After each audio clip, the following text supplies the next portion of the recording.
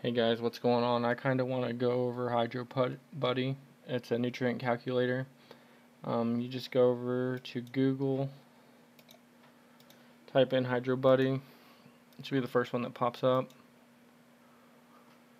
You just open it up and then you find ever what operating, operating system you're using, like Windows, uh, Linux, Mac OS, Android, whatever you're using, just click it and download it. I use Windows. And then once you download it, you just open up HydroBuddy. Um, you come over here to the main page and you set it to gallons, um, your ppm, grams, just kind of like how I have it here. And then you'll want to add a nutrient, whatever nutrient you're using. I'm going to be using Master Blend, 1224. So you just click substance selection. And then you'll have all the preloaded nutrients or stuff you've added. And already have things that let's go ahead and we'll just leave all that in there. But let's say you want to add a new nutrient to it. Like we're gonna add uh, you can name it whatever you want. I'm gonna name mine master blend because that's what we're gonna be doing. We'll just call it master blend test. And then you'll have to input all your nutrients whatever's on the back of the bottle or bag that you're using. So we'll come over here to custom hydroponics because that's where I get most of my stuff from. And we got the master blend 01224 from custom hydroponics. We want to come over here and uh, click the specs to get all the nutrients. So we got 0% nitrogen, 12% phosphate, uh, 24 potash. You'll want to input all these into your HydroBuddy. What's important here is the P2O5 and the K2O. You'll want to come over to HydroBuddy and change that. Um, I'm not an expert at this, so still kind of learning, but I think more people that use uh, this nutrient calculator will help them. So we have 0% nitrogen just want to input all this. I have it wrote down over here, so I'm going to go into HydroBuddy and input all these numbers. So we had 0% nitrogen, we had 12%, P2O5, 24%. Let's double check it. It's 12%, 24% potash, the magnesium's at 4% and you'll just want to come in here and keep typing in all your uh, nutrients that's on the back of your bottle. Or bag. Let's see and we have sulfur is at 11% let's double check that. That's sulfur 11% and the boron is 0.02 copper 0 0.01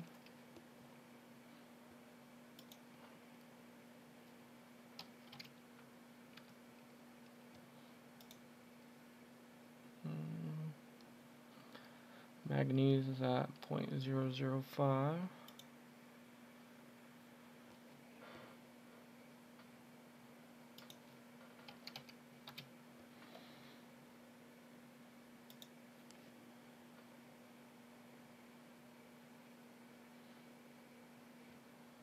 zero one zero zero one.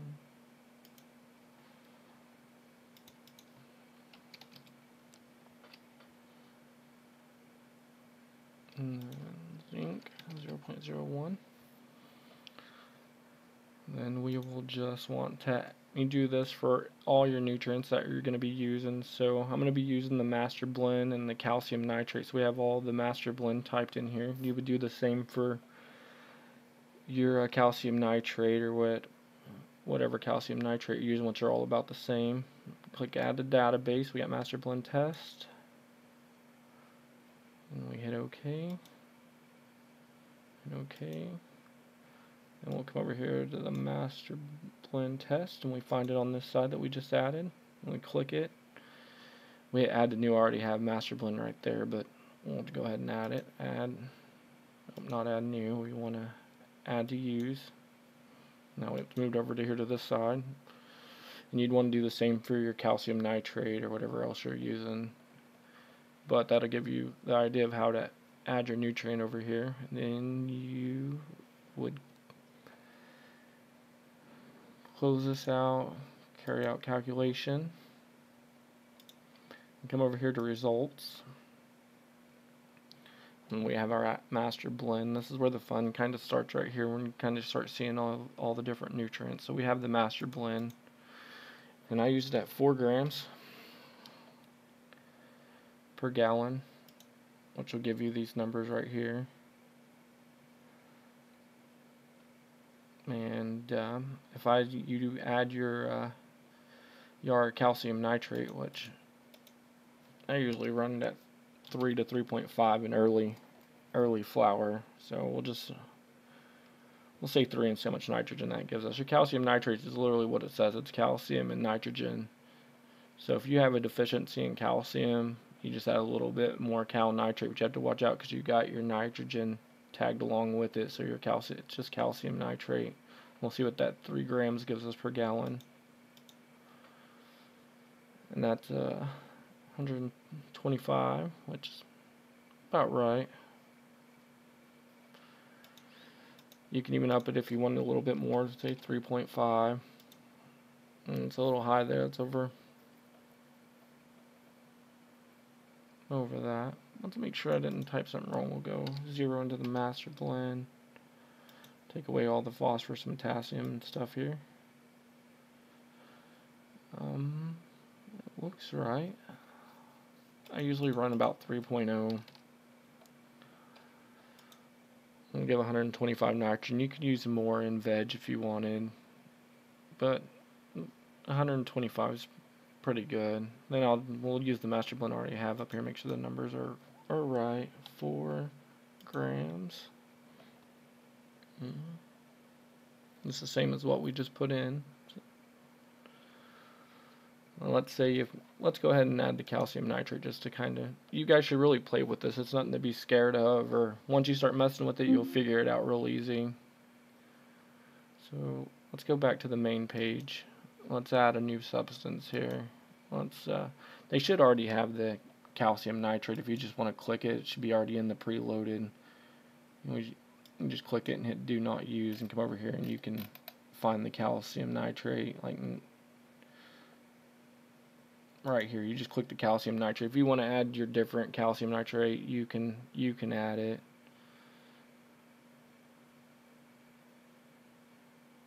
Which we already have calcium nitrate here.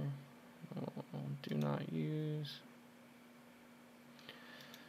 And I have the Yara already set up but we'll make a new one just to kind of go through it so. Let's go to add new. Let's let's back back out so go back to your main page and click substance selection. Since you already have the substance where you add new nutrients hit add new. We'll just name this calcium test. It's my cal Yara calcium nitrate. So calcium nitrate change uh, all this which I don't let's see here. Here's the Yara. I use the Yara calcium nitrate and we got the specs up here, total 15.5, 14.5 nitrogen, ammonia nitrogen 1.1, so we'll add all of this in. We got calcium, which is 19%, so it's literally just nitrogen and calcium. So we come over here.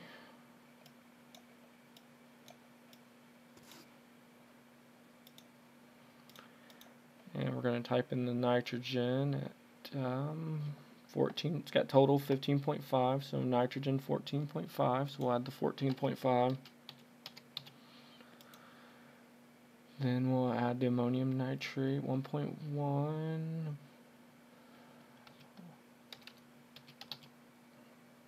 1.1 and 19% calcium, so 19% calcium. Then we'll hit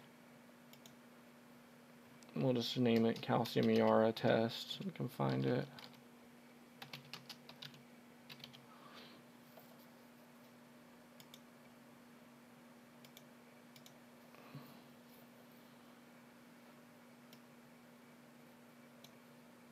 So we're back at the main page. We go over here to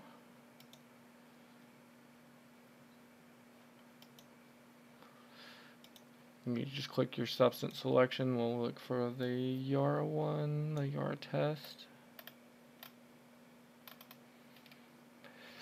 I haven't really messed with this calculator very much, so I'm kind of new to it. But I do think everybody should learn to use it as helpful. Let's see if we can find the one we just created here.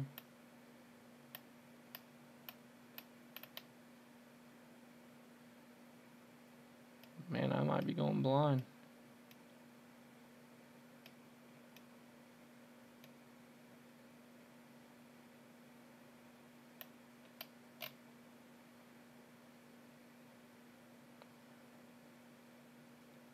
Oh, there it is. And then we just click it and then we'll hit add to use and that's your calcium nitrate added. That's just how you add the nutrients. Just take the what's on ever on the back of the bottle and just input the stuff in into the calculator and then you just come over here and carry out calculation go to results and then we got our master blend test and our Yara test that we have just added. So I'll show you what I do in early flower. Early flower before until stretch I usually run 4 grams of the master blend 3 to 3.5 of the Yara. You're also going to want your magnesium. And I don't think I have any magnesium on here. I'm not seeing it. So let's add magnesium. Sorry guys, I wasn't really prepared for all this, but oh, might have closed everything out. Let me open her back up.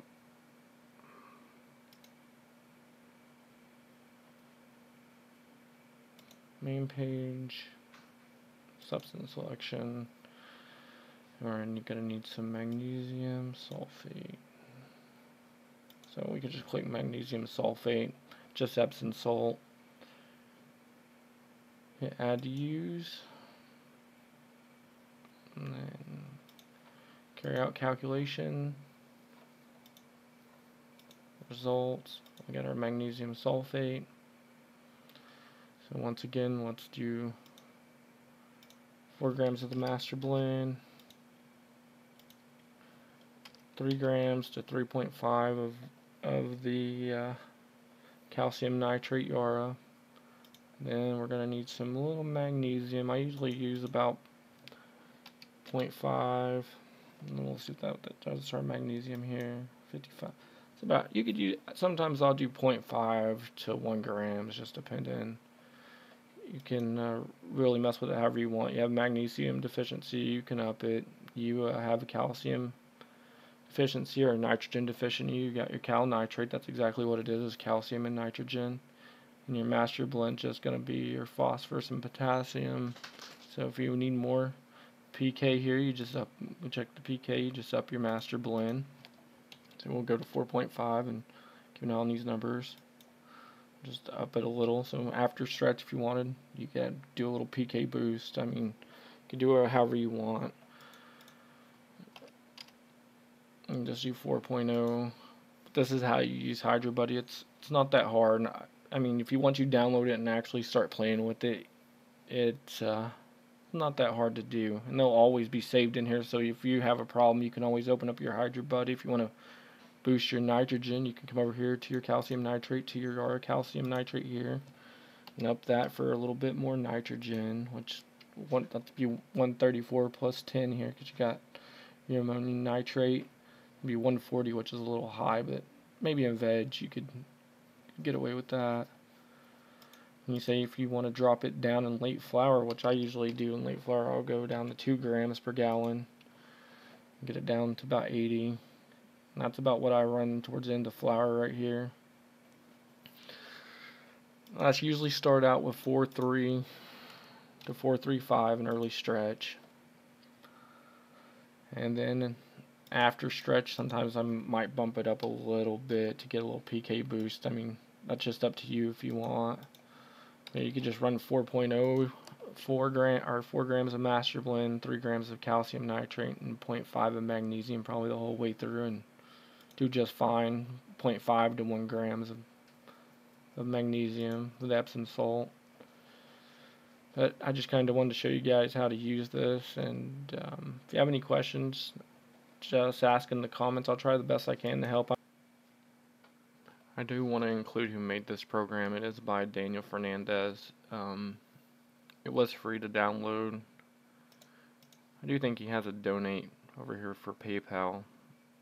But you can see up here, he programmed by Dr. Daniel Fernandez, PhD. I did download it at um, scienceinhydroponics.com. But if you just Google HydroBuddy, it should be the first first one to pop up. I did want to give credit to him for making it because it is an awesome program to use. It has helped me. I hope it helps you guys. Before I go here, I kind of want to show you guys what I do run in my nutrient solution, what I run throughout flower. I only use the master blend during flower right now. I mean, I might use it in veg later and mess with the calculator and use it in veg right now. I'm only using it for flower. So early flower, I'll use uh, 4 grams per gallon of the master blend. 3.5 grams per gallon of the calcium nitrate to 3 grams, just depending on how much nitrogen you want to put in there and calcium. But 3.5 grams per gallon for the, to help with the stretch during stretch. Epsom salt, we got 0.5 grams. Let's change that 0.5 grams to 1 gram per gallon, just depending on how you want to measure it. I usually do less, a little less than a gram. Sometimes I'll do 0.7, 0.5. I just stay between 0.5 and 1 gram. And that's my week 1 through 3 until, until stretch stops. Once stretch stops and after stretch, I'll usually go to 4 grams or to 4.5 grams if you want to do a little PK boost per gallon. I you can go up or down however you want with the master blend. I usually do about 4.5 a little bit after the stretch. That's how I've been running at this run anyways. In my Yara calcium nitrate, I'll do uh, 3 grams. And sometimes I'll even lower it to 2.5 to lower the nitrogen. I start trying to drop nitrogen down a little. Not too much, but a little. And then I'll keep running that for the next 3 weeks with 1.5 to 1 gram. That usually stays the same. The Epsom salt will stay the same. 0.5 to 1 gram per gallon.